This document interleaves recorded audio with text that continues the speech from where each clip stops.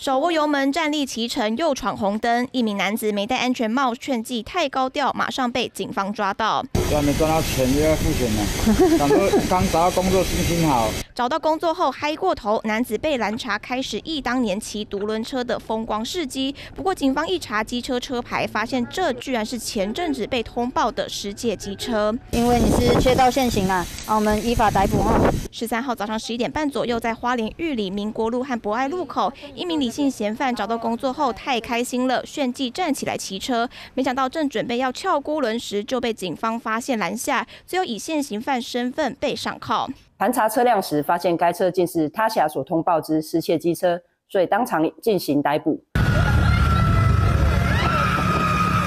另一个危险驾驶行为就在新北三重人正街，大半夜民众骑机车三贴，但这其中一人坐在置物栏，不断放声尖叫，后座乘客也没戴安全帽，这危险行径事后高调抛上网，马上被警方盯上。不管是站立炫技，还是大坐置物栏，机车骑乘方式走中，真的是危机四伏。三立新闻吕彦晴，花莲新北采访报道。